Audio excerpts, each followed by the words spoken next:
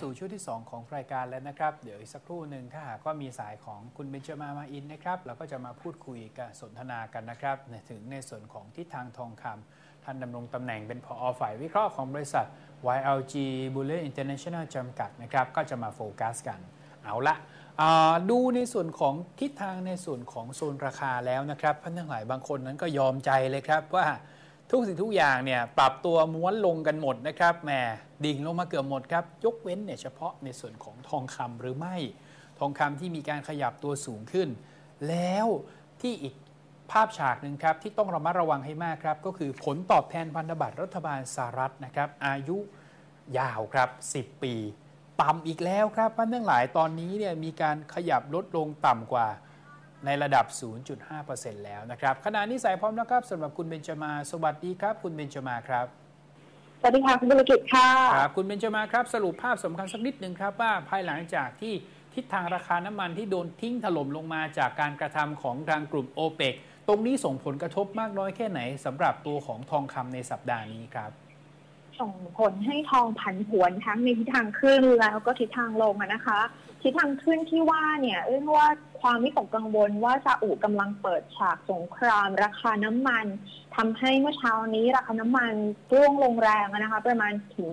25-30เปอร์เซ็นต์ในขณะเดียวกันสัญญาดาวโจนส์ฟิวเจอร์ก็ร่วงลงมากกว่าพันจุดค่ะ แน่นอนค่ะ นักลงทุนก็เลยเข้าซื้อทองคำในฐานะสินทรัพย์ปลอดภัยนะคะ ทองก็เลยมีการทะยานขึ้นไปแต่ระดับสูงสุดบริเวณ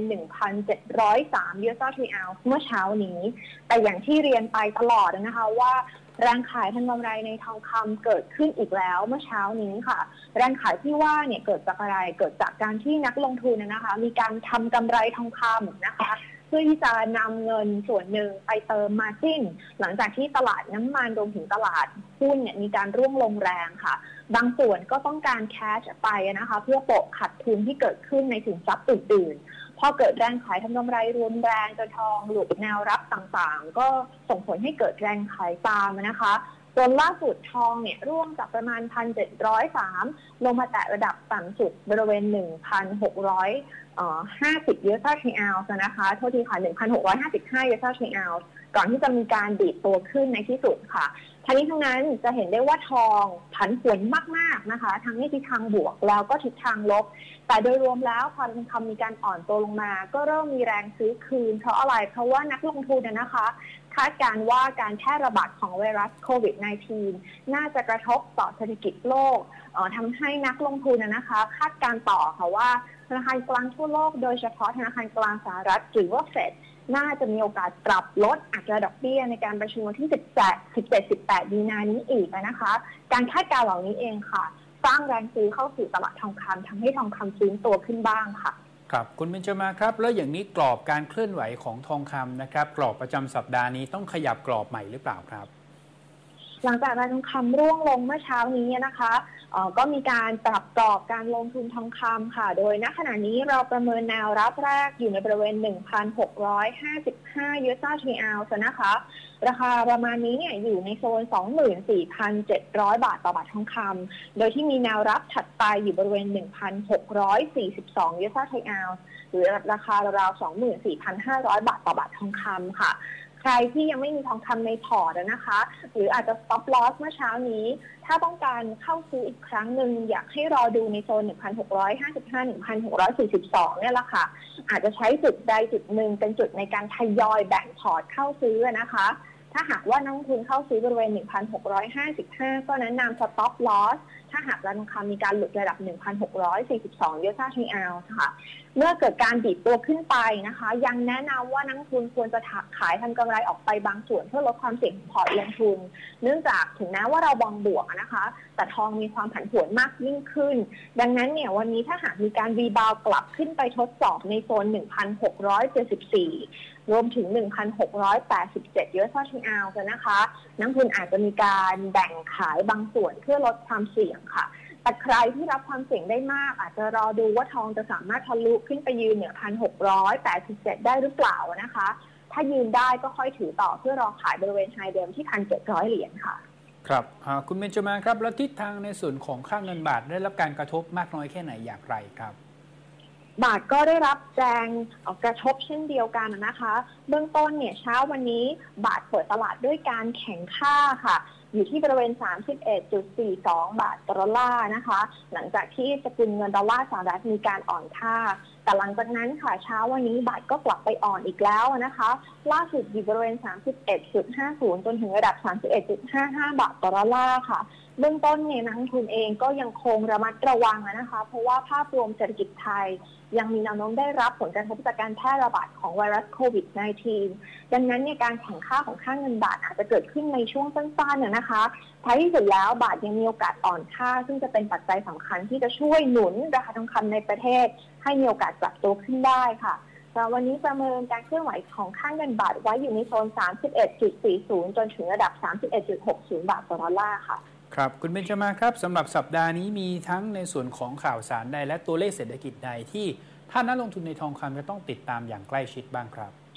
ตัวเลขสัปดาห์นี้ค่อนข้างเบาบางนะคะสำหรับตัวเลขสัปดาห์นี้อยากให้ไปโฟกัสช่วงประมาณวันพุธพฤหัสค่ะ อย่างวันพุธจะมีการเปิดเผยตัวเลขดัชนีราคาผู้บริโภคหรือตัว CPI นะคะ วันพฤหัสจะมีการเปิดเผยดัชนีราคาผู้ผลิตหรือตัว PPI รวมถึงจะมีการเปิดเผย ตัวจำนวนผู้ขอรับบริการการว่างงานรายสัปดาห์ด้วยค่ะในขณะเดียวกันค่ะวันศุกร์ก็จะมีการเปิดเผยดัชนีความเชื่อมั่นผู้บริโภคจากมหาลัยมิชิแกนนะคะ นอกจากเรื่องของตัวเลขเศรษฐกิจสหรัฐแล้ว ก็มีอีกหนึ่งอีเวนท์ที่น่าสนใจค่ะ จะเป็นการประชุมธนาคารกลางยุโรปหรือว่า ECB นะคะ ซึ่งจะเกิดขึ้นในวันพฤหัสนี้ค่ะ ECB เนี่ยจะเปิดเผยผลการประชุมราวๆหนึ่งทุ่มสี่สิบห้าค่ะคุณมลกิจ ต้องติดตามเพราะว่าคาดการณ์กันในวงกว้างนะคะ ว่า ECB อาจจะออกมาปรับลดอัตราดอกเบี้ยเงินฝากลงอีก 0.1%จากระดับสู่ลบ 0.5%นะคะ สู่ระดับลบ 0.6%ค่ะซึ่งปฏิกิริยาช่วงแรกนะคะ ถ้าหากว่า ECB มีการลดดอกเบี้ยจริงเนี่ยอาจจะทำให้สกุลเงินยูโรอ่อนค่า แล้วก็สร้างแรงกดดันให้กับทองคำได้ แต่โดยรวมแล้วเชื่อว่าภาวะที่อาจจะดอกเบี้ยทั่วโลกอยู่ในระดับต่ำน่าจะเป็นปัจจัยหนึ่งที่ลดต้นทุนการถือครองทองคำแล้วก็สร้างแรงซื้อเข้าสู่ตลาดทองคำในที่สุดค่ะนี่คือ2อีเวนท์ที่มีมีใน schedule นะคะ แต่สิ่งหนึ่งที่นักลงทุนควรจะต้องติดตามอย่างใกล้ชิดก็คือ เรื่องของความเคลื่อนไหวในตลาดหุ้นนะคะแล้วก็สินทรัพย์ต่างๆค่ะ ซึ่งมักจะล้อไปตามข่าวสารที่มีความผันผวนนะคะ ดังนั้นนักลงทุนในระยะนี้ควรจะเน้นเก็งกำไรในระยะสั้นๆรวมถึงตั้ง stop loss ประกอบการลงทุนค่ะครับคุณเบญจมาครับ จากตัวของสถานการณ์ตรงนี้ที่เกิดขึ้น ในทัศนะที่เกิดขึ้นตรงนี้เนี่ยมันจะส่งอิทธิพลและก็จะทำให้ตัวของรูปแบบนะครับในการลงทุน มันจะแย่ไปกว่านี้อีกหรือเปล่านะครับ และรวมถึงในส่วนของปัจจัยที่อาจจะเป็นทั้งตัวแรกตัว2นะครับอย่างโควิด -19 หรือแม้กระทั่งการปรับตัวของทาง o p e ปนะครับที่เจรจากันไม่ได้ แล้วสุดท้ายก็แตกออกมา จะทำให้มีแรงซื้อทองคำมากแค่ไหนครับแน่นอนว่าน่าจะเกิดกระแสเงินทุนไหลเข้าทองคำในฐานะสินทรัพย์ปลอดภัยนะคะ